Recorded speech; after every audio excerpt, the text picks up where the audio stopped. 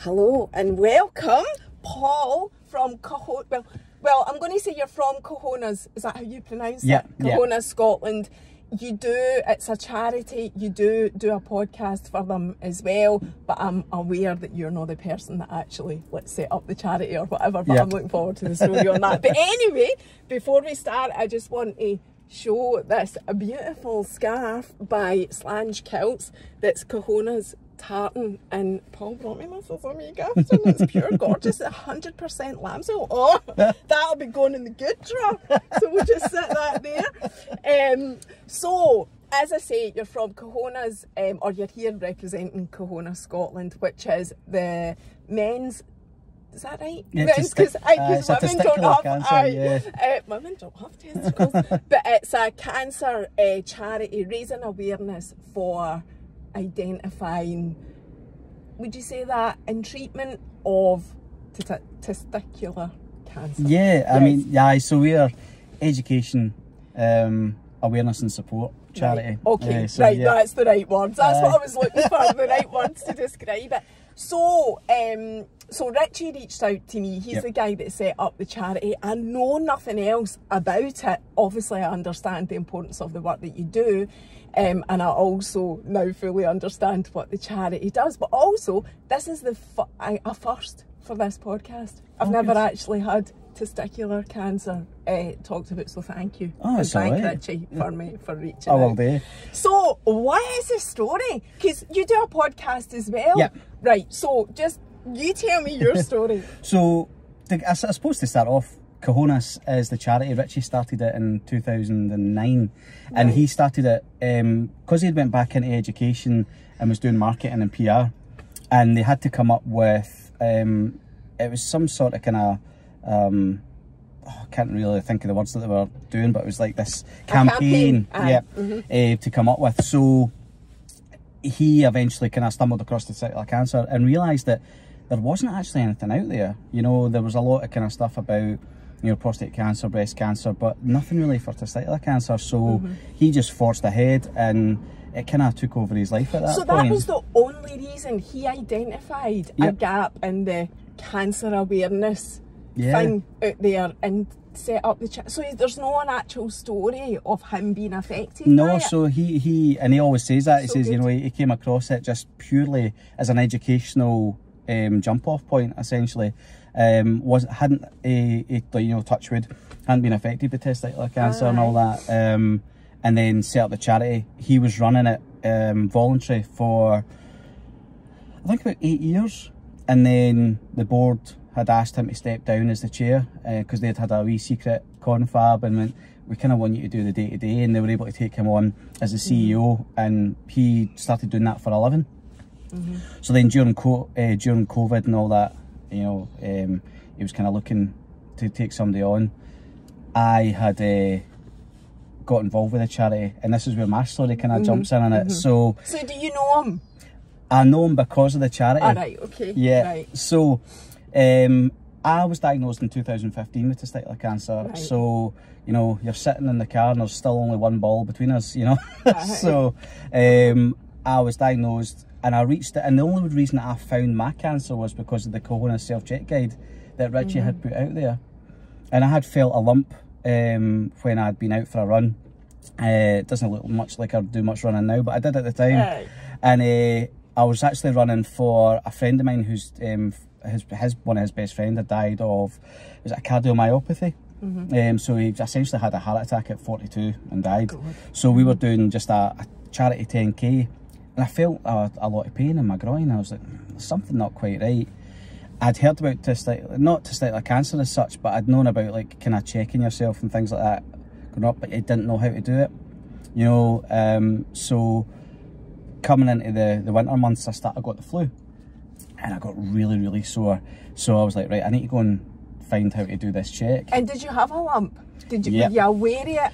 I wasn't- before you checked. I wasn't aware of the lump, I was aware of the pain. So when I'd be Mm-hmm. kind of like going down the stairs, it felt like somebody was kind of, you know, I always kind of say this when I do my talks, just, uh, you know, use my scrotum as a, a paper towel dispenser. It felt like somebody was yanking on me. So um, I was, I, I sort of thought, right, let's look at what this could be. frightened and paranoid that it could be cancer because you know, it's a weird pain to get. So testicular cancer, but I always put in Scotland. For anything, I'm so patriotic. So even, Uh, I want to find a Scottish thing. Uh, but you do want it to be local as well You because I, if you need to message or not that I'm saying there's that much of a language barrier or anything, but it's always much handier if even there's somebody you can see or speak to or whatever. I don't know. Everybody will relate to that. It is much better to be dealing with somebody locally, I feel, than Yeah. than, you know, miles and miles away. Although sometimes that is the only option. But you know what I'm saying. Oh, definitely. Anyway. But you, you think it geographically, you know, you could be close to seeing somebody as well that aye, could go, it's aye. All right, you know. Um, so, Cahonas popped up. I done the self check the way that it um, showed me on the the website, and I found a lump.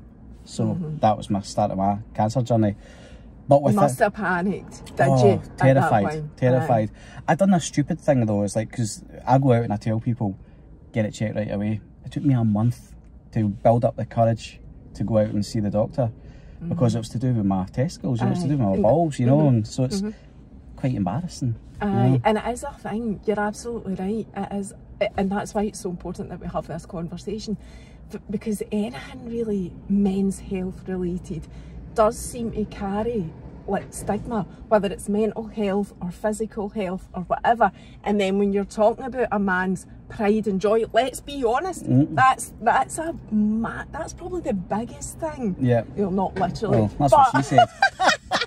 I mean, even we're making jokes about it, but it's so important to get the message Yeah. across that it's, you know, it's so important to test. And I know my husband, like, you know, talks about it, and you know, we we're quite open about it, and you know, thankfully we've not had any issue, but you just don't know, and it's that being able to have the open dialogue about it to then take the next steps, which could potentially save your life. Exactly, and that and that's the whole and that's the whole ethos of Cahonas is, you know, we want to kind of get young men or people with testicles to to be informed and educated enough that they don't have that stigma and embarrassment as well. Yeah, like I did.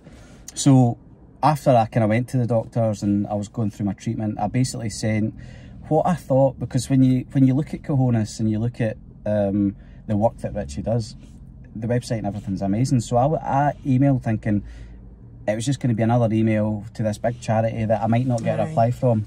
Unbeknownst to me, there's Richie sitting at his his full time job at the time, you know, getting an email uh, for me saying, uh, just from me and my family, thank you for saving my life.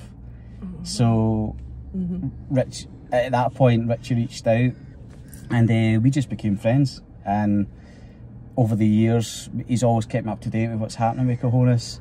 And then um, two years ago, um, I, I was still working for the NHS at the time. I was actually working in the immunisation team. So I was got gets a phone call and he's saying, "Oh yeah, we're going to take some, we're hoping to get take somebody on," and I'm waiting and waiting for the ask. It's not coming. It's not coming. But three days went by. I, I phoned him again. I went, Richie, I really want that job. so I was like, it's oh, he, he couldn't believe that I would leave the NHS to go into the third sector, but. I mean, 20 years nearly I was working in the NHS. I'd kind of reached a, a glass ceiling for where I, I thought I wanted my career to go. I, I didn't do my training. I was a nursing assistant and I was really happy in that job, but I think, you know, I needed to expand out just to, mm-hmm. for me.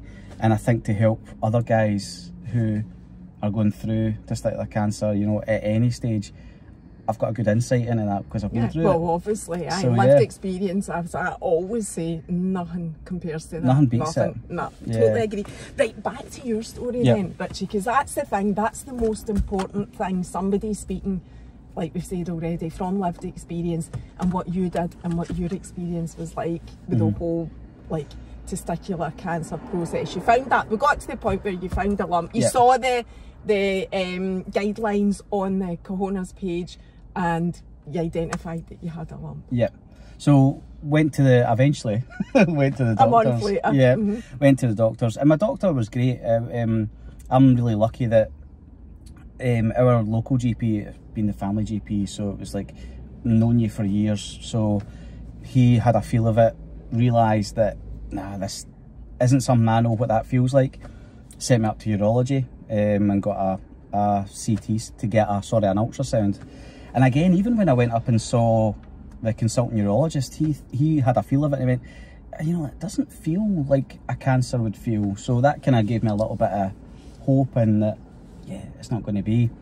But I went into the ultrasound and by this point I had my trousers down at my ankles that many times that I just squeaked my, my brakes down as I walked in. And the wee wife was like, son, I need a chaperone. I was like, oh, I'm really sorry. So I went to peel up my trousers. And just as I'm peeling up my trousers, the chaperone walks in at the back of me. And She's like, oh, there's a full moon. And I'm just like, what do I do? So I just waddled across, to the bed and was like, oh, okay. She's like, sit there.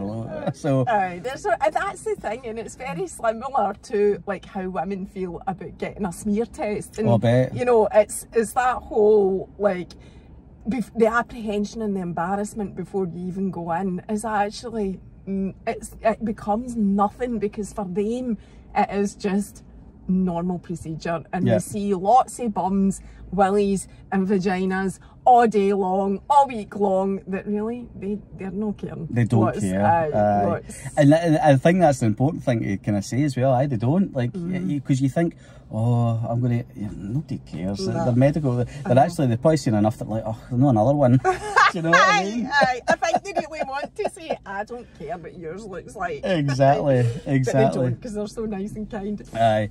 So at that point, I went out, back out, my, my wife was sitting in the waiting room and um, we just started having a laugh and a joke. And the thing that didn't resonate with me was that the when I was getting ultrasound, the the sonographer went, "You're going to have to go back and see the consultant," and that didn't really hit me of why I needed to do that until we went back in, and he was like, "So yeah, it's testicular cancer for sure," because they could see quite ah. clearly on the, the ultrasound. And, and was that when you, you found out when the consultant said it to yeah. you? That was when you knew. They yeah. never said before that that it does look like cancer or anything. No, it was it was at that point, and even then, it didn't really hit home. You know, mm -hmm. it was just kind of. You see in the movies when like people get bad news and you hear like um like this really sharp ringing. So I've got tinnitus anyway, so I hear that type of ringing, but it just felt like it got louder and louder and louder. And I was so glad my wife was with me because if I she took in more information than I did about what was the next steps and I, I remember just sitting there numb going, oh my God, like I've got cancer, you know, and you don't hear it any other words, you know, people talk about, you know, what it is. It's like you hear testicular, but you just hear the word cancer. That's mm -hmm. the mm-hmm. big mm -hmm. overarching thing. Uh, and yeah, at that point, you know, your life just suddenly goes like, okay, what do we have to do? you know, at this point. So yeah. So they do say that about having somebody especially well you never you don't know what you're going to get told but when you're going for important appointments like that and you know you're getting a diagnosis or the results of a scan or whatever they do recommend that you take somebody with you for that reason yeah. because you're you're no hearing you're in shock you're no hearing anything else that's getting said to you yeah so what happened then after you got your diagnosis? So it was just a case of, you know, what, what the next steps were, and it was surgery. So I was going to lose that testicle. So that's what. So what is the procedure for testicular cancer? I'm sure there's probably diff. I don't know. Mm. Right? Is there different levels, grades, whatever, or is it an automatic removal of a testicle or what? Not not necessarily an automatic removal. Um, so, like so you can get you know like screening to see where you know you could get like um like a little bit of chemo or radiotherapy, so you don't necessarily have to get the removal. Um, I had what was called a stage two embryotic carcinoma, so my my cancer was actually growing inside my testicle like a chicken and an egg situation. Right. So and the only reason that, that and that's why I was feel that's why I was so sore. And the only reason that I found the lump was actually the the testicle had herniated. So it was by mm -hmm. pure luck that I, I had a lump. Mm -hmm. Because if I hadn't have found that lump, I, I would have just took paracetamol and everything like any guy does, yeah, do you know what I mean? And just hoped that it went away. Um, so because all the the lymph nodes and everything, you know, are, all, uh, are in your abdomen, testicular cancer is really bad at moving really quickly. So it can, you know, the, the likes, John Hartson's the best example of that, ex-Celtic and Wales footballer. His ended up in his brain because he'd left it too late to kind of be diagnosed at, at the early stages. So it moves so quickly and because um, I had the embryotic, they just had to get rid of the, um, the testicle right away because there was you weren't going to save it as Right. such. Um, so then it was from there I got my orchidectomy, which is like the removal, Uh-huh. and then it was discussing how many rounds of chemotherapy I was going to get. So you did need chemo Yeah, as well. yeah, That was so- me just uh, done with the removal. Yeah. Mhm. Uh, so when they got it, they were like, yeah, you're definitely going to need it. So I got a CT scan and there was cancer cells like in a really small, minute level on my lymph nodes in my abdomen. So I got two rounds of um, a thing called BEP chemotherapy. And the big thing that's in that is like bleomycin, which is one of the kind of like hardcore um, cancer drugs, and, and, plat- and platinum is a heavy metal. So it's the thing that kind of makes your, your hair fall out and all that because you're having uh, a, to- a toxin put into you. So yeah. Mhm. And did that happen? Did you hear from Yeah, aye, I looked more like Uncle Fester than this glorious bearded man you see And- before you. And now, are you? What are you classed as? Are you cancer free? Technically cancer free, yeah. right. So that's I'll be coming up um, ten years next year. So it's ten year cancer free next year. So what age were you when I you got the thirty. right? Thirty. So again, it's so important to say that because a lot Mm. of people shrug issues off saying, "Oh, I'm too young," or you know, this can't be happening to me Mm-hmm. Yeah. because I'm whatever age or whatever. So you were only thirty. Yeah. So what does so there's a few other things I want to ask you. So what does that mean for your future? What did it mean? What did you want family? Did it restrict that? Did was there any, you know, restrictions on your life moving forward? The, certainly, like in terms of kind of my fertility and things like that, that was something that was beginning to be a problem. So during the, the period of time where me and my wife uh, were act- we were actually trying for a baby, um, we had my son. Um, um, he's not biologically mine, but he's mine. You know what I mean? So, Aye. um, so we were trying for our, you know, our wee girl who we have ended up having um, at that time, and it was it was difficult because we weren't conceiving. Then the cancer diagnosis hit, and you kind of go, okay, that that the body's Makes, mhm, yeah, maybe telling you. makes sense. Yeah. Aye. And then it was the the I think and that's the biggest thing that I've started talking about now is the mental health aspect of losing a testicle. It isn't just about losing the testicle, it is moving forward with like family. So the chemo could have wiped out my fertility completely. That's why I'm Um, asking yeah. about that. So, you know, it took us about two years and we were on the verge of going to IVF and we're really lucky that, you know, guys get the chance now to give a, like, uh, go to the sperm bank at the, the hospital and, you know, leave that um, just in case. And you get, I think it's three rounds of IVF you get as well after you've had So you could have froze your own sperm. Yep, Is that? aye. But you didn't do that. No, I did, I oh, did. you did. Yeah, Right. I did. okay. Sorry, I'm Yeah. my head. Right. Aye. so you, that was an option that you used that they gave you before the chemo started. yeah. Right. So I had to go in and, and, and give that, and um, that was that was a story in itself. Do you know? It's like it's the weirdest thing you have to go up. But you know, I do want to talk about it because it's very similar to the process if you're starting infertility, eh, regardless of any other issues. So Yeah. we we had just started on that journey of infertility. Then I did fall pregnant naturally, but it's another thing that people don't really talk about because men get embarrassed about it. But if you want to, if you're desperate for a child and it's not happening, and you want to go down the road of infer, um, eye infertility treatment, Mm-hmm. then there's certain things that you need to do before that, and sperm count is one of them. Yep. Before you're even referred to a specialist, so you need to go over it, Aye, fellas. You aye. need to get over it. That is one of the things Yep. you need to do. So I imagine it's the same process. You know, you're having to capture the sperm in a wee cup. Yep. Aye. Well, I don't know. It needs to be done if, it, if you want to live and if if you want to pursue fertility treatment. Yeah.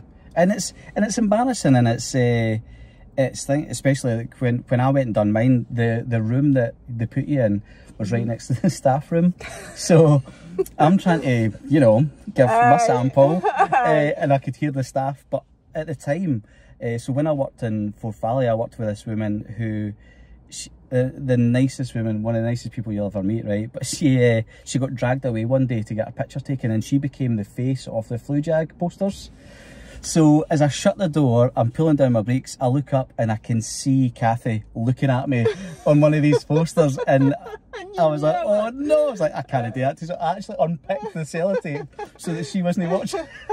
watching I can me. totally understand that. Imagine it's because you're in the NHS, though. Obviously, it's not. That's not the type of thing that would happen to usually the usual average Joe. No, blog, they just look at it. They, they maybe would have used it, you know, but certainly I couldn't do that to her. Um, but yeah, and, and I think the, the it was quite stressful as well, you know, you know yourself then, uh, you know, there's a, a, you feel emasculated as well when they talk about if you're trying to conceive and you're trying to do it naturally and when it's when you when I, I knew that it was my fault you know that because I say fault but it was I was the reason that we couldn't conceive But but but were you? Was it ever confirmed? Because although you obviously had your issue going on with your testicular cancer that you Yeah. weren't aware of yet, was that definitely confirmed as the reason? Um, not hundred percent, but the, You the- just- you aye, just yeah. But when that. they talked about um, like the the mobility of the sperm and all that as well, so that's like how how they move and how quickly they move during that like first that first sample. I had enough healthy sperm, but the count was low, and that was probably to do with The the fact that. I and that one of them wasn't working properly. So they reckon then um, that once that was removed, that would have helped. Right. So it was highly likely Yeah. anyway. I just wondered about that. Yeah. So then, Okay. you know, fast forward two years, um, we were going to the point of having to go up to Dundee for the first kind of like, you know, point of doing the, the, the infertility treatment. And uh, we were like, right, bugger it, let's just relax. Let's just do something for us. So we went to Poland uh, just for a, a holiday, came back, you know, and um, I think it was two weeks after that, you know, my wife was like, um, oh, I don't know, I feel quite funny and I feel quite gassy. And she said to her mum, and her mum jokingly said, you might be pregnant?" And she went, "Nah, I don't." She was like, so she took a pregnancy test and turned out she, That was. And so she felt pregnant naturally. naturally, Oh, yeah. that's an amazing like, story almost well. almost two years to the day of being told. You know what I mean? That that you had cancer. yeah. So have you still got your your sperm in storage frozen? So you, weirdly, yeah. So Aye. I got a letter the other day, and I've actually not filled it out yet. But I got a letter the other day where it basically says, "Do you want to destroy this, or do you want to keep it for another ten years?" uh, uh, can you donate it? Um, I think you probably could. I think you probably could, but um, yeah, it's I, again. Just new. It, it just, was it was a weird letter to get, and aye, I, I've just no. new to you Yeah, getting that aye, letter and thinking so, about yeah. it. But I did wonder about that as Yeah. well. Um, so you fell pregnant naturally. Well, your wife did feel pregnant Yeah. naturally. That's a I look like I did, story. but you know. no, you don't. No, you don't. Right, so going back to the actual treatment, I do want to talk about mental Mm-hmm. health and I do want to talk about catching it early and all of that as well. But the actual treatment for you then and the recovery. So I assume they would get you in quite quickly to remove that unhealthy testicle, Yeah. is that right? Yeah. And what was that like? It was kind of brutal to be fair. Um, I think because of like the because everybody's different and every like physical body is different as well, uh, and some tubes are longer than and some and um, I ended up having to get like a, a kind of ten inch incision like into my abdomen, uh, so that they done that removal. And I remember. Is that how they do it? Yeah, so people people often misconstrue. They think they might just go in through the scrotum and just take it out that way.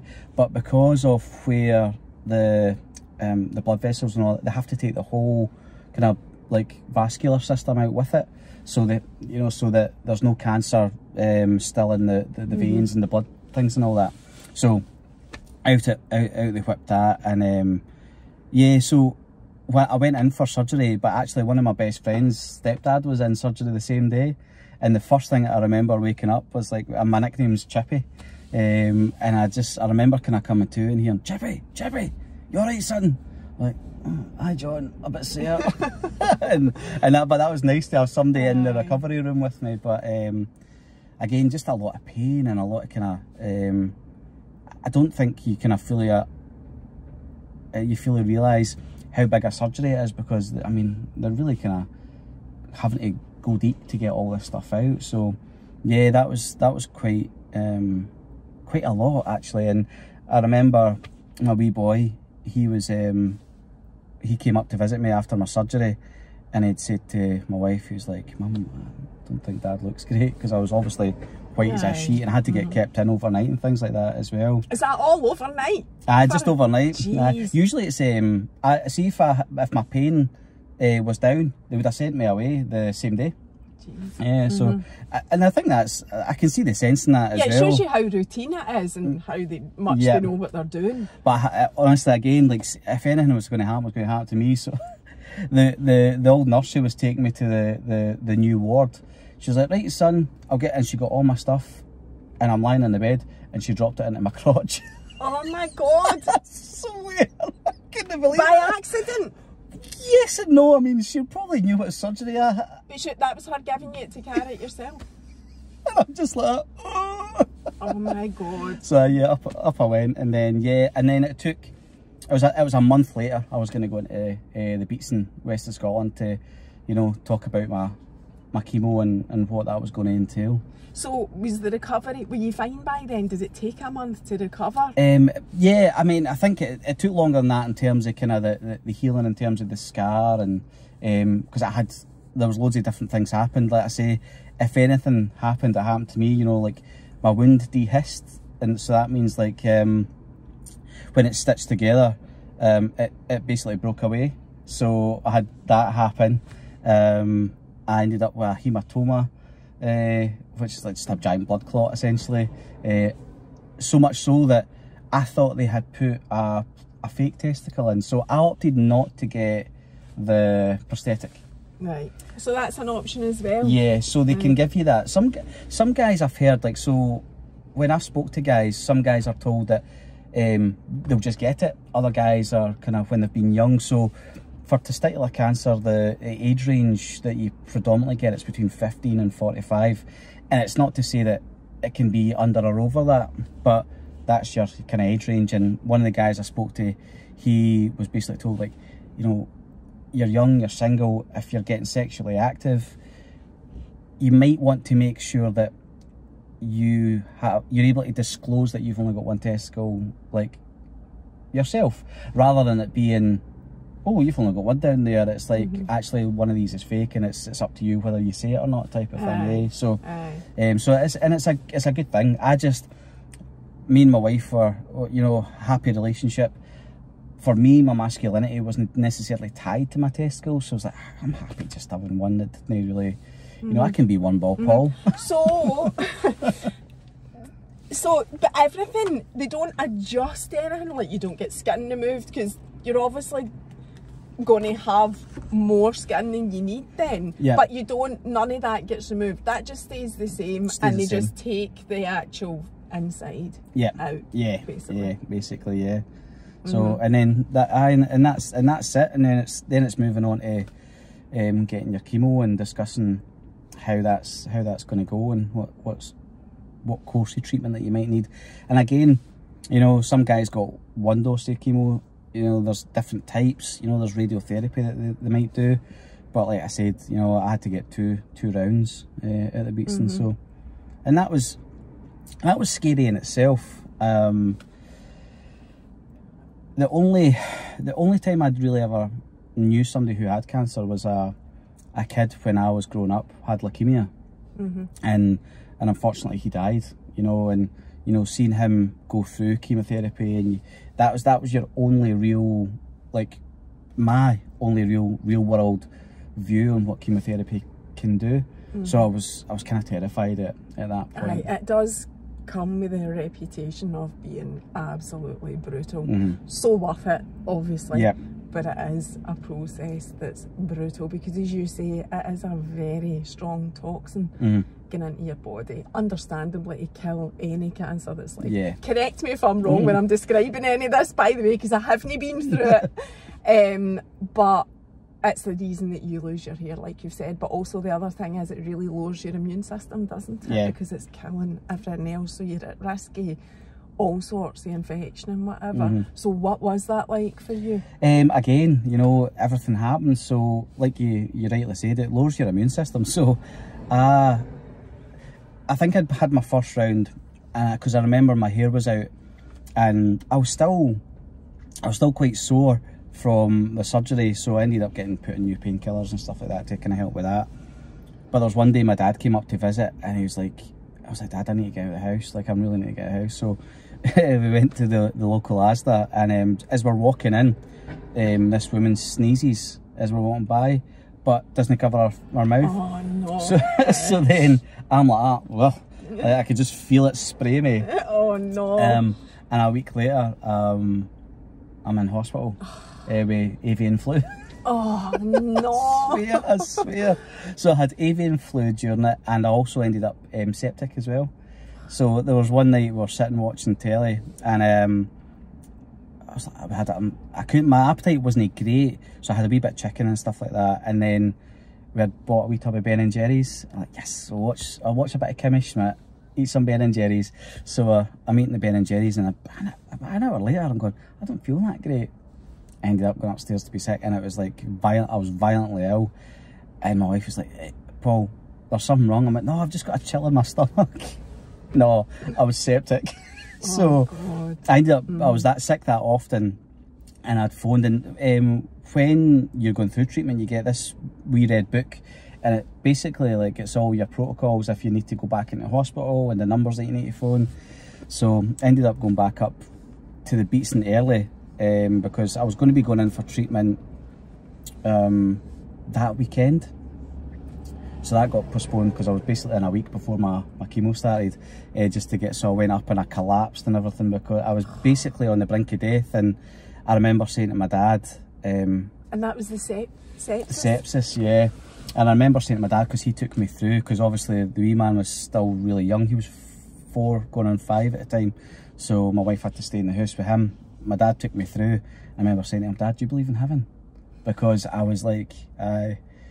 You thought that was the end. I thought that that's mm. it. I'm done, you know. And um, I uh, and I remember the look in his face and being like, oh, didn't didn't say that, didn't say that. But that moving forward, like in, in time went by, I'd heard that that's one of the that's actually a, a side effect of sepsis as well you do have a your brain kicks into this mortality thing thinking that you're going to die oh, really? and that's what you mm -hmm. feel and that's that's exactly what I felt I was like I'm going to die I'm I'm dying here tonight and then thankfully they got the fluids into me they got the antibiotics mm -hmm. and yeah I I'm here to and tell the tale. Jeez, oh, and yeah. that wasn't the cancer. No, that, that was just because it, it was mm. essentially because of the treatment. You know, like you say, Aye. my immune system was lowered and all that type of thing. So yeah, mm -hmm. yeah. So how long then were you recovering in that sense with the chemo and obviously getting over the sepsis? How long was that? Um, so that was probably the sepsis. I was in hospital for a for a week and getting all that, and then the, my blood levels came down, and then with the chemo, um, I think from start to finish, essentially, I was I was done. It was January, February, so it was April, May time. Right, so um, four or five months, and yeah. that was you after that you were back to normal. Yeah, I right. yeah, mm -hmm. and then I we like we had we had booked a holiday because um, I've got family out in Philadelphia, so we booked a holiday to go see them the year prior, and uh, it was kind of touch and go whether I could go or not. Insurance wouldn't touch me, do you know what I mean? Mm -hmm. uh, but we went, and it's funny. I still will talk about things that happened in that holiday. I'm going, I can't remember that because my brain was just away with it, kind of mm -hmm. hang. Eh? So you were still in a bit. I state of shock Pro maybe. properly yeah Aye. Aye. it's interesting that yeah. so talking about going on holiday so many things here um so one of my friends has been on the podcast talking about her cancer she's got breast cancer stage four she's living right. with and there's a company I wondered it just this just popped into my mind there's a company that does um holiday insurance for cancer patients. Now, I don't know any of the criteria, but was that the spe a specialist company that you went to, to go on holiday? I didn't even do it. And you done your wife did it, right? Like... Typical, right? So you don't have the answer to that. Anyway, that was just by yeah. Dubai. So going back, so what's your situation now? Are you do you go for annual checks or is it more than that? What no, so what happened? It used to be that you get seen out uh, um, for a period of time. So it'd be once a month, once every three months, then six months, then yearly, mm -hmm. um, for 10 years. as I was finishing my treatment, that protocol changed. So I was only looked after for five years after that. However, COVID hit. So it wasn't until two, was it last year, the year before? I think it was maybe last year actually. I had my final CT scan and all that type of thing. So uh, so I ended up being looked after for eight years rather than just the five and all that type mm of thing. Mm -hmm. so, but now it is 10 years. Yeah. So you're now discharged. Yep. Is that right? Yeah. So you wouldn't go back for a checkup based on that. But if anything else was to come up, you'd go back. Touch wood, it doesn't. Yeah, aye. Just, aye. I'm just saying. Aye. Um, so, and that's the thing. It's like if if yeah, you're discharged, but you know, I could I could phone up and say I've got this, and that, that actually happened. You know, I found a lump in my remaining testicle. Oh God. And uh, I mm-hmm. phoned mm -hmm. up, and they were. How really, long after was that? That was only this year. Recent. Yeah, so that was only this year, and I basically phoned up and got the and spoke to the CNS who works there, and she was great. She went no, and she booked me in for an ultrasound, and Straight thankfully, I, it was just a, a cyst. Aye. You know, mm -hmm. so yeah. Which a lot of time, a lot of the time it can be, mm -hmm. but it's always important to get it checked yep. anyway, yeah. regardless. So going back to like, I picked up on what you said about testicular cancer can spread really quickly yeah. if it's not caught in time and all of that. And I just want to reinforce that message about, you know, the minute you were very lucky and that you couldn't feel, well, I say lucky, you know what I mean? Mm. You couldn't feel a lump, but the pain was enough for you to then check yeah. for a lump and it turned out that you did actually yeah. catch it quite early. Just the whole thing there about what would you say? What do Cahonas say when it comes to looking out for testicular cancer? Because this is actually even new to me because mm. I just always thought with cancer it was a lump but no, yeah. no based on what you're saying. So what are the things that you, what's the message that you put out to people to look out for? And if you've got any of these symptoms, regardless of whether you can find a lump or yeah. not, go and get it checked. Make an appointment with your GP. I assume in the first instance, as always is the case, then they'll yeah. So early detection's obviously the yes. big thing, you know. It a 96% rate for survival if detected early testicular cancer is and unfortunately there's still deaths associated with it you know and it's it's a shame because it is such a, a, a detectable cancer. So as Cahonas we um, well, Richie came up with a check your balls for life campaign and life being an acronym for the four key symptoms that you can check for in the scrotum. Mm -hmm. so that's going to be kind of any lumps. Mm -hmm irregularities, so that's any kind of pain and things like that. Any firmness, so if the testicles, any, any one of your testicles feels firm or firmer than usual, uh, and then enlargement. So most guys have got um, one bigger than the other. Mm -hmm. But if you know your body and if you do these checks regularly, you know, which, and we say once a month. So if you do that once a month, spend one minute on each testicle. I'm quite lucky, I just have to do it for half the time now. Uh, if, if we do, and if you do that, and you, that's what you're looking for in terms of what you feel on the testicle, you know, or within the scrotum. So it's lumps, irregularities, firmness, and enlargement. Mm -hmm. And it's a really simple key message to kind of help. There are other symptoms out there. You know, you could get lower back pain, you could feel fatigue, and and it's not to say that you would get all of the life symptoms in one go as well. Mm -hmm. You know, mm-hmm. it's like we've had guys who had um, maybe a bit of pain. You had some who had, had their testicle felt a little bit bigger, you know, so it's not having them all, it's having one of them, mm -hmm. you know, and just making sure you're right, going to your GP as soon as you feel something Do different. you know what that sounds very similar to? And there's a lot of women watch this podcast, obviously, because mm -hmm. it's the like people follow like people. Course, so a lot yeah. of women follow me. So it's, I suppose it's what we're doing here as well as speaking to any men that watch directly is speaking to women to encourage their partners to check if their partner is male obviously. Um, but it's very similar to the message for women checking their breasts. Yeah. It's actually much the same in that it's any changes. Mm -hmm. any changes at all. It's not just about lumps it's you know anything that isn't what your breast normally feels like, what your testicles normally feel yeah. like, get it seen to Yeah. straight away. And that's and when I go out and obviously and part of my job as a community engagement officer, we go out into you know businesses, sports clubs, schools, you know anywhere that wants us, we'll go out and deliver this talk. And I always say that, especially to to to young people who, you know, they've got busy lives, but you know if say if they play sport or, or something, for example, they'll know if their shoulder doesn't feel right. They'll not, you know, swing the bat or the club or, or throw the ball because they'll know something's not right. So if they get to know their testicles in the same way and by doing those monthly checks, then you're going to pick up so quick that there's something wrong. So if you've got that early detection, it just it makes it better Mm-hmm. in terms of kind of your treatment and things like that going forward. As I always say, anyway, we're all checking for stuff like that. It's the difference between life and death, really. It can Yeah. save your life. Um, so the mental health side of it, Paul, because Mm-hmm. is massive as well. Again, especially where men are concerned. Um, what's the, what was it like for you? First of all, what was mental health?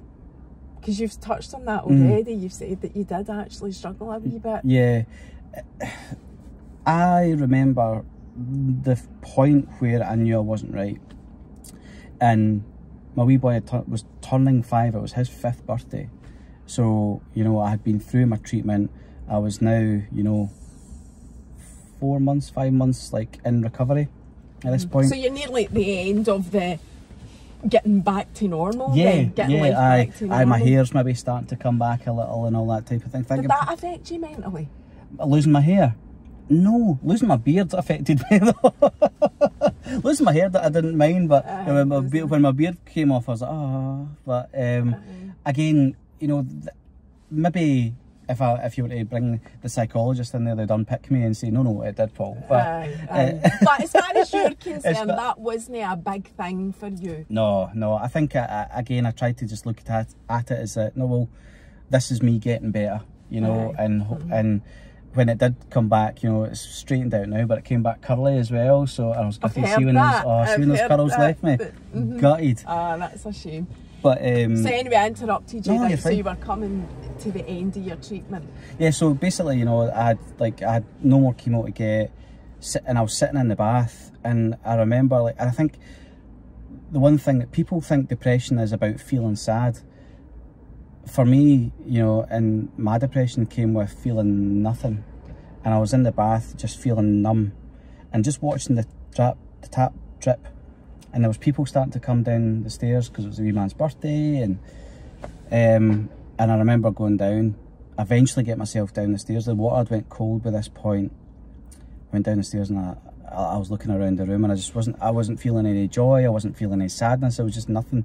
And I remember saying to my wife, "Can you come through?" And I heard our mum say, "Like, is Paul okay?" And got into the kitchen and I just broke down. I went, "Um, there's something wrong. I'm not right. Like, I don't feel right."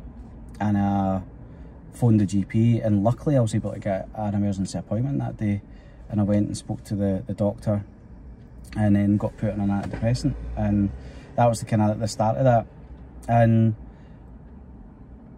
over the years having kind of being able to kind of sit and think on it and it's it's such a massive toll because I was trying to be so positive during my my treatment and uh, trying to make sure that I was still appearing to be me for people because actually I think most people who have had a cancer you know they'll they'll go oh I've got cancer and, you'll you'll see it in somebody else's face and then you end up going oh, it's all right I'm okay and you'll reassure them mm-hmm. you know mm-hmm. and you, and you do mm-hmm. that reassurance for them rather than for yourself.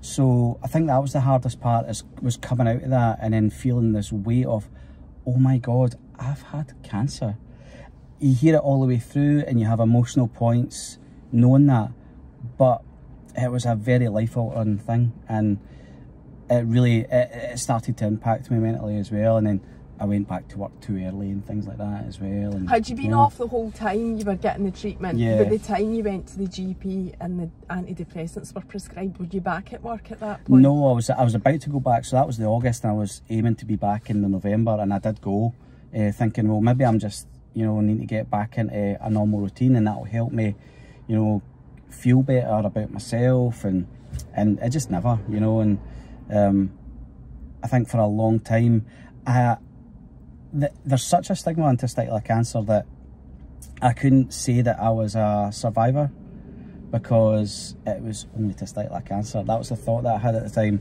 Where actually, you know, now I'm quite proudly, you know, no, I'm a testicular cancer survivor and, you know, this is what I do. But at the time, the stigma around it was still as such that I felt embarrassed to call myself a, a survivor. And people go through worse types of cancer than me. And it's like, well, actually, no, you went through quite a big mm -hmm. deal. So yeah, that was that was the hardest part of of that was coming to terms with the fact that yeah, I had survived something bigger than I, I kind of gave it credit for. Mm -hmm. If that mm -hmm. makes sense. Mm-hmm. So the mental health part, then, mm-hmm. do you think was it classed as PTSD?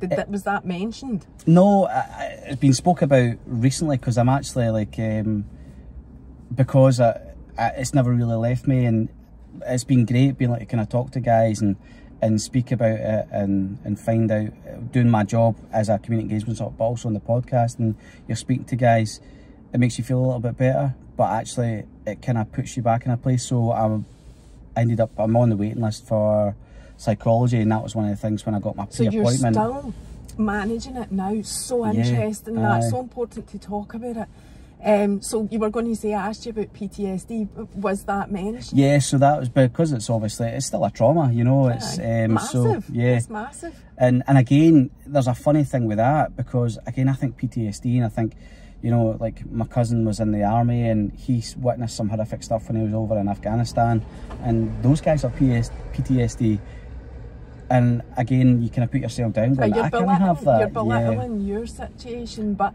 I've heard that so many times from people, not just cancer, any life-threatening diagnosis that a person is given yeah. is is just I, I I don't even know it myself because it's not happened to me but listening to other people it is mentally it's one of the hardest things you can have to deal with you're yeah. facing potentially death. Yeah. And you know it, for, you know that. Yeah. You can Google it for cancer. You know, it's just, it isn't just about the emotional side, eh, sorry, the mm. physical mm. side yeah. of it. It's the, the emotion and the mental health. And, and it's the one part as well that we talk about, well, I talk about more and more uh, in my role as Cahonas because I think that in my own situation and knowing the guys, like, I mean, we've, you know, we've got a, a great wee community building the testicular cancer survivors but almost all of them, to a person, will say, you're given your treatment,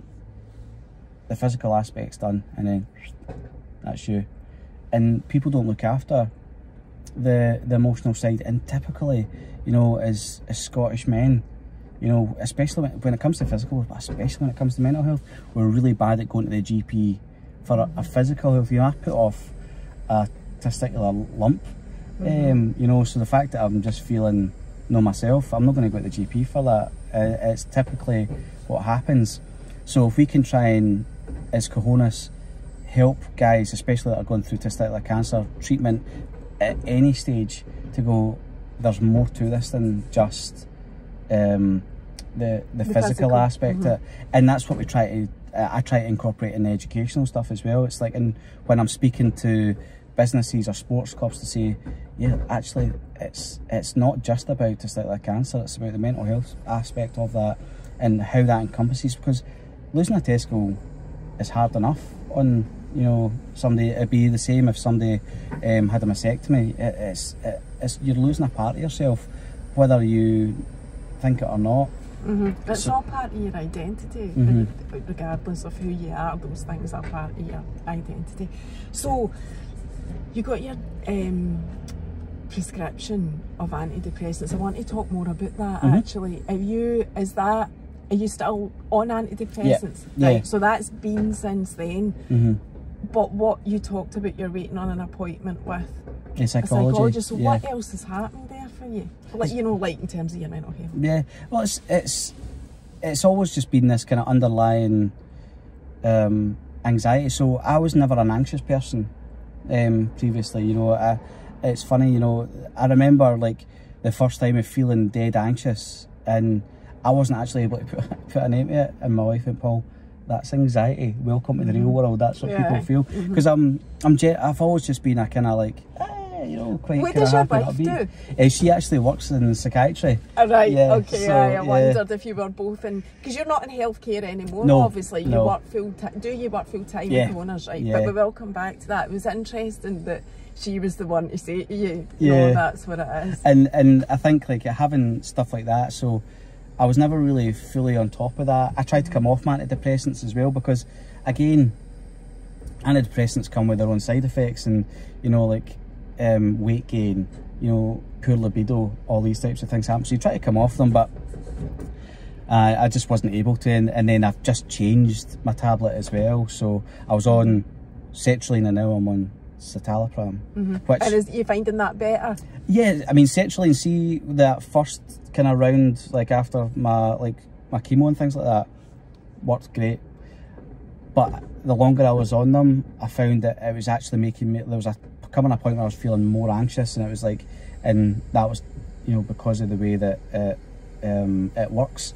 So going on to the citalopram has helped. It's like it's lessened that anxiety, but kind of mutes everything else a little bit. You know, it's like I, I'm a big baller, you know, so I'll watch Marley and Me and I'll be dying. Do you know what I mean? Like. I, I, I, my wife laughs at me because like she she watches Grey's Anatomy, and I'll maybe come down the stairs, and there'll be a sad scene. I've not watched any the rest of the show, but I'll be greeting within 30 seconds. Do you know what I mean? aye. So stuff like that stops Aye, as such, aye. eh? But um, but it, it has helped, and it's helped relieve that anxiety. It's helped me move forward in terms of kind of um, like my mood's better. You know, I, I, I I would never say that I had um, suicidal thoughts, but I had thoughts of you know like just like I could just drive the car straight into the wall. Do you know that type Aye, of thing? Mm-hmm. And that that was what was worrying. You know, the fact that I wasn't mm-hmm. able to get out of that. Mm-hmm. And you're so you're still dealing with that. You're Mhm. still dealing with your mental health. So how did you get the psychologist appointment? Where did that come from? Just going to my GP and So you're uh, still no right. You've Yeah. still so you went back. What was wrong that made you go back? I think just that overwhelming feeling, you know, like it coming, you know, I I, th- I I was definitely a lot. I was I was feeling a lot more aggy, you know. So I'd, I'd be kind of like you know, Technical term Aye. there, Aggie. But I was definitely feeling not myself and a bit sharper to kind of like it's like I always say like I- I- in my entire life I've always had a, a really hard fuse to light, you know. Um, but it's just always like things were just I was just you know and things just being an angry man. Yeah. Aye.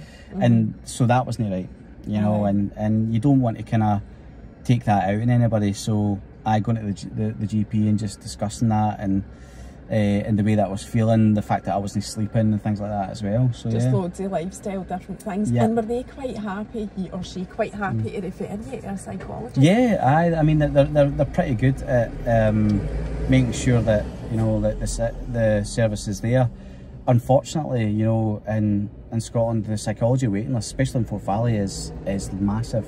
So even though I've been referred to a psychologist it's going to be another 18 months before I see anybody as well so it's You're quite um, lucky. That's the only way I can think to put it to get a referral as Mhm. well, though, from the GP because it's not just Forth Valley; it's everywhere. The Yeah. psychologist lists are massive. Have they given you any indication of how long you'll need to wait? Yeah, it, it could be anywhere between a year and, and two, And you know. So aye. yeah, Mhm. um, I've had my initial consultation and, and spoke through, and there's obviously we any type of psychology. There's obviously other stuff in your life that they kind of go, that's going to have affected you. That's going, to, and then you've had this big trauma on top of all these other little things. So yeah, Mm-hmm. you know, Were you affected by mental health before the cancer, or did the cancer diagnosis trigger everything for you? I can't say that I, I kind of was as such. Maybe that, you know, I'm looking back, you could argue maybe, yeah, but I didn't feel it like that at the time. But certainly that was the, um, that moment of sitting in the bath and not, f- and just this day of joy and not me not feeling anything was definitely a, no, no, the, this isn't right for me. So yeah, it was at that point a really. turning point for you. Yeah. Mhm. It's good to hear that. I hope you do get the support that you Mhm. need. So, going back to the page then and the work that Cahonas does. How many people work for the charity? Two of us. Two, just Yeah, you Richie. just me Richie, oh, yeah. God love you. Yeah.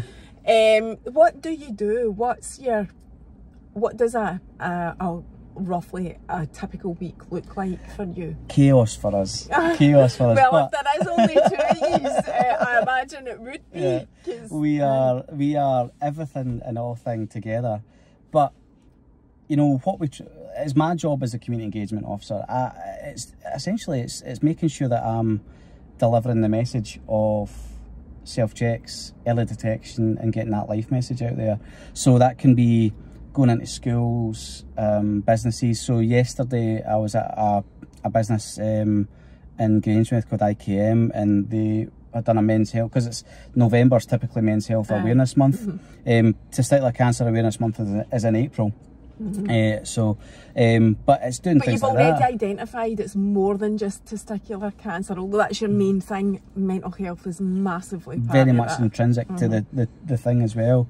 Um, so yeah, and giving educational talks. So you know, going into schools is, is always great, um, and being able to just do a thirty to forty minute session, just you know, advocating for you know people to be proactive. And like you so rightly said, you know, yeah, a lot of your um, listeners, stroke watchers are going to be female, but they're always the best people to Exactly. You know, exactly. you know. Because we are the ones that have got less embarrassment. And Yep. generally speaking, I Yeah. mean, I don't want to be accused of being sexist, but generally speaking, a, a woman will confront an Oh, issue definitely. quicker and more head on.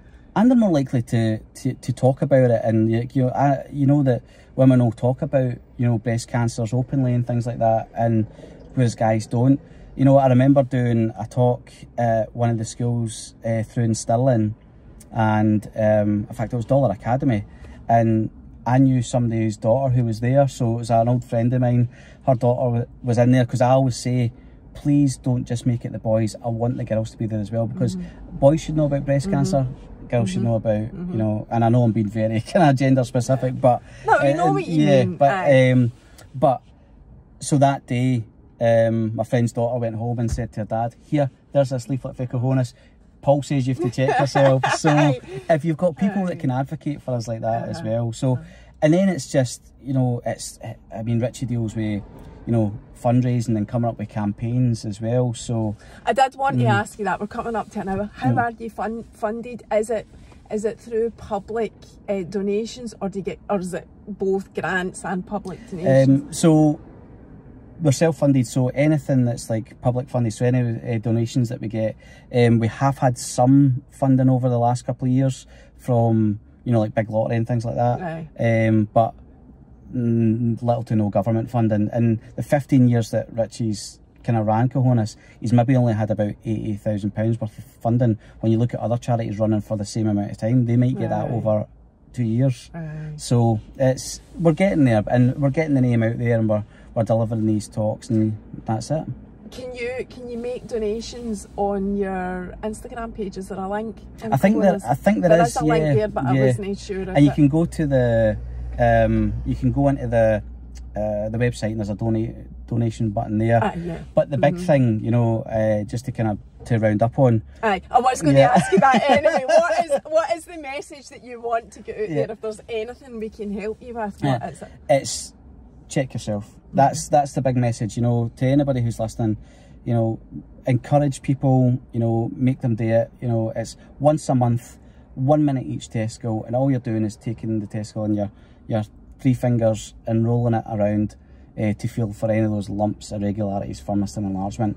Um, it, it literally could save your life. It saved mine, and I know that sounds really, really grandiose, but it really did. But it does. It, it does. Um, and, and also, know, guys who are going through treatment um, are getting a, a chemo care box um, for nothing from Cahonas. So um, it's filled with stuff. Uh, to, it's got toast toasties, it's got chilies bottles, it's got ball bag underwear in it. So they're getting a massive big care box, stuff for brushing their teeth, unscented smells like uh, deodorants and things like that. So they get a, a proper hug in a box for us.